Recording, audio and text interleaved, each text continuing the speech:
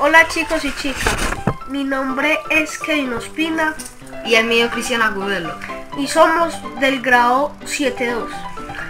Hoy les quiero como compartir de lo que vamos a hablar en nuestro canal de YouTube.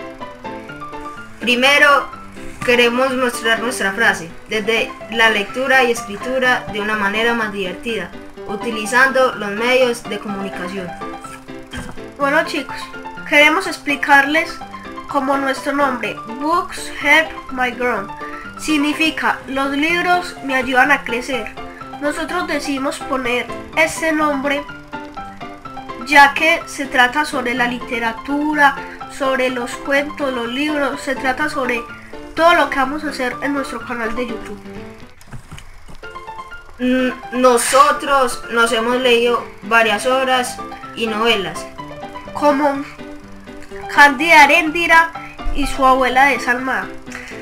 Cándida Arendira y su abuela desalmada se trata de que la abuela tiene una nieta y ella le hace un daño, un daño muy grande que es que ella pues se quema un candelabro, entonces se quema toda la casa en sí y de ahí eh, la abuela prostituye a Cándida para que pues le pague el daño que ella le hizo.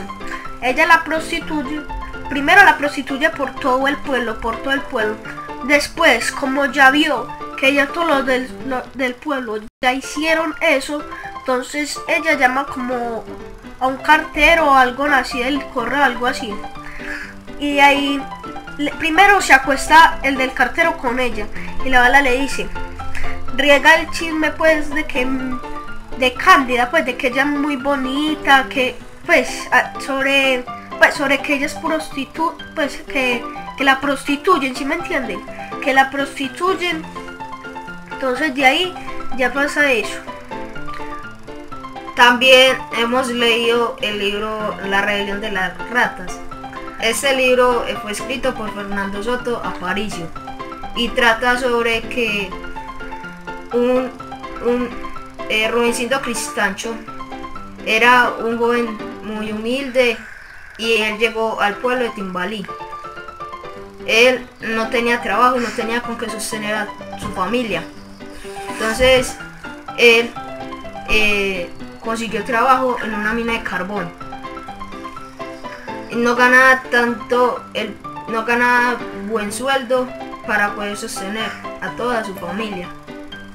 El jefe era muy duro, será Mr. Brown.